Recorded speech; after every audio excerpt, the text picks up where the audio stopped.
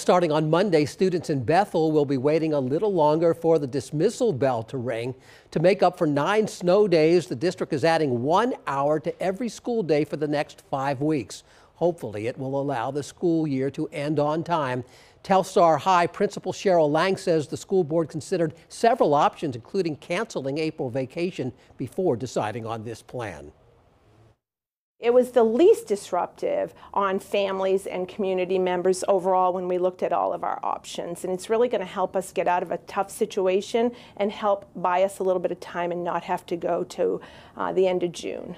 And Lang says that overall, students and parents agreed that this was the best plan.